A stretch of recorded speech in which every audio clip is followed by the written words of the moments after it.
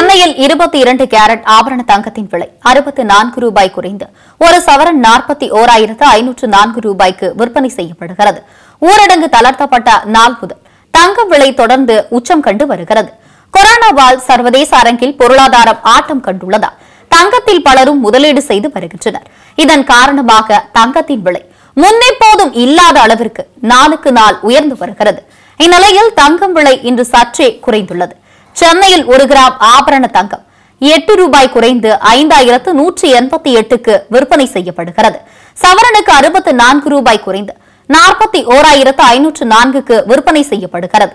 சில்லறை வர்த்தகத்தில் சென்னையில் ஒரு கிராம் வெள்ளியின் விலை எழுபத்தி இரண்டு ரூபாய் ஐம்பது காசுகளுக்கும் ஒரு கிலோ வெள்ளி எழுபத்தி இரண்டாயிரத்து ஐநூறு ரூபாய்க்கும் விற்பனை செய்யப்படுகிறது.